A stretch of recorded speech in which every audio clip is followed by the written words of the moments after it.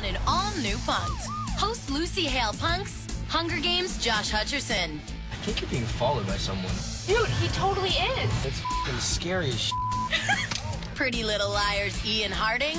You ever been arrested before, Ian? I've not, no. This could be a big boost. This could be like a sex tape for you. I do... I... I'm... And Vanessa Hudgens. Oh. What are you doing? He's driving.